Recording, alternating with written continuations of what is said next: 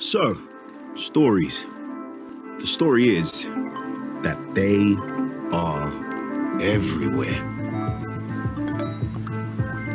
And you can broadcast them to the entire world from the palm of your hand. I mean, yeah, you saw a sunset, saw a dog, you saw a flower. And yes, you bought breakfast, you bought a coffee, you bought a sandwich. I'll have what he's having.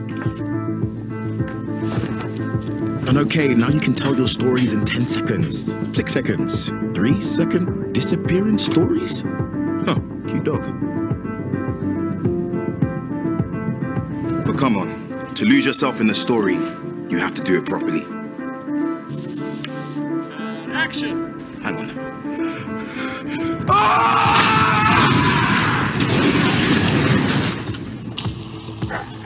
Not like that. Or that. Or that. Definitely not like that. Great stories are the ones you can lose yourself in. You can't do it like that. Hi, Dad. No, to really lose yourself in a story, it means no pings, no alerts, no click me, swipe me, like me's.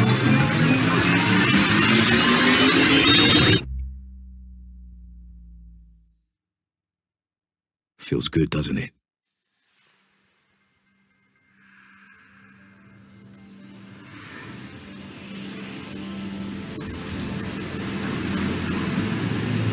Imagine what two hours feels like.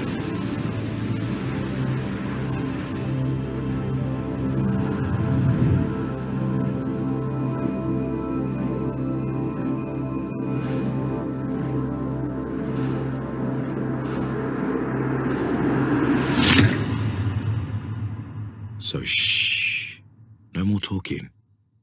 Switch off your phone, sit back, relax, and get lost in the big screen experience.